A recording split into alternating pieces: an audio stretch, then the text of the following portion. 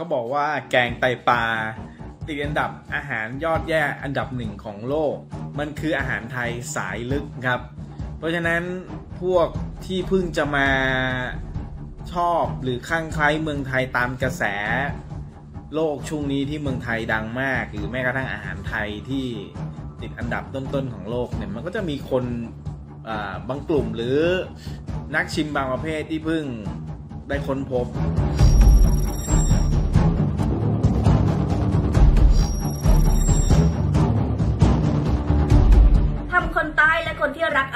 รใต้รสชาติจัดจ้านกำหมัดกันแน่นแล้วเลยค่ะสำหรับการจัดอันดับให้แกงไตปลาของไทย เป็นอาหารที่ยอดแย่ที่สุดในโลก ล่าสุดเลยค่ะน้าปูมออกมาดึงสติคนไทยให้ใจเย็นๆเพราะแกงไตปลาถือเป็นอาหารไทยสายลึก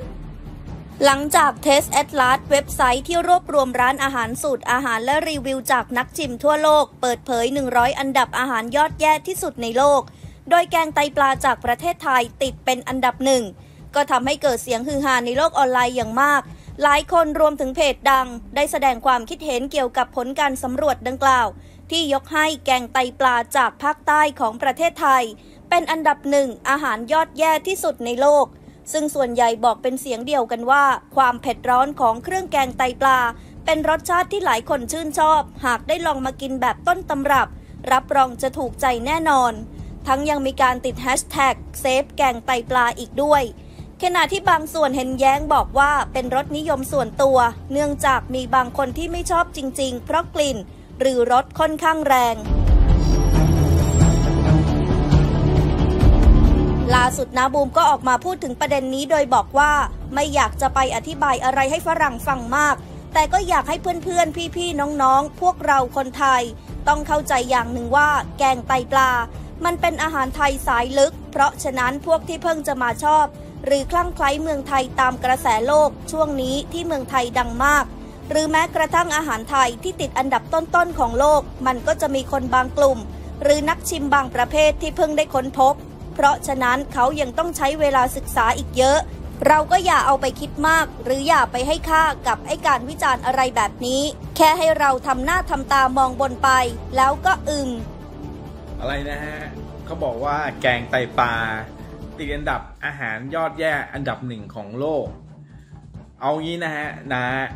ไม่อยากจะไปอธิบายอะไรให้ฝรั่งฟังมาก แต่ผมก็อยากจะให้เพื่อนๆ พี่ๆ น้องๆ พวกเราคนไทยต้องเข้าใจอย่างหนึ่งนะครับว่า แกงไตปลา มันเป็นอาหารไทย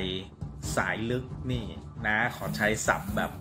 เด็กแนวยุคน้านะ มันคืออาหารไทยสายลึกครับ เพราะฉะนั้นพวกที่เพิ่งจะมา ชอบหรือข้างใคล้เมืองไทยตามกระแส โลกช่วงนี้ที่เมืองไทยดังมาก หรือแม้กระทั่งอาหารไทยที่ติดอันดับต้นๆของโลกเนี่ยมันก็จะมีคนบางกลุ่มหรือนักชิมบางประเภทที่เพิ่ง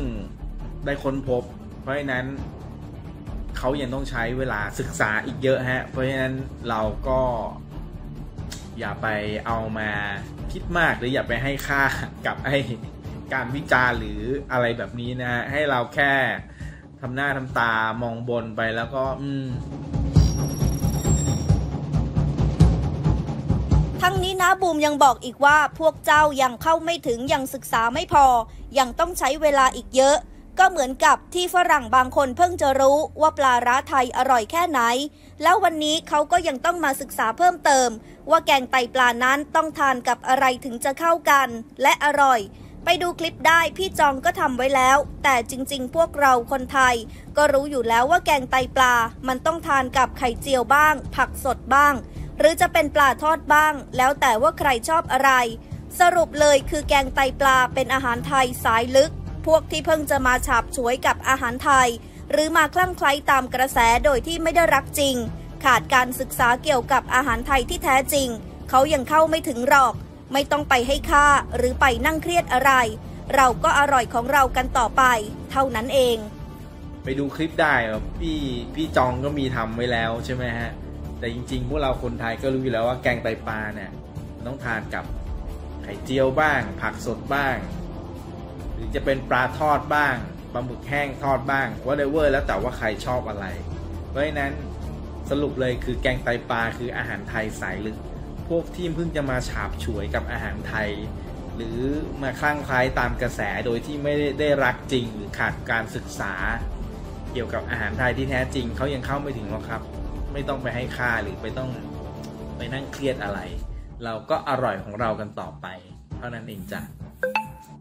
ไหนใครแกงไตปลา lover กันบ้างคะ จริง ๆ ก็อย่างที่น้าบูมบอกเลยค่ะ ว่าเรื่องของรสชาติอาหารอยู่ที่ลิ้นของแต่ละคน ไม่แปลกที่ต่างชาติจะเข้าไม่ถึงแกงไตปลารสชาติจัดจ้านของไทย เอาเป็นว่าอย่าไปให้ค่าซะดีกว่าค่ะ เราก็อร่อยของเราต่อไป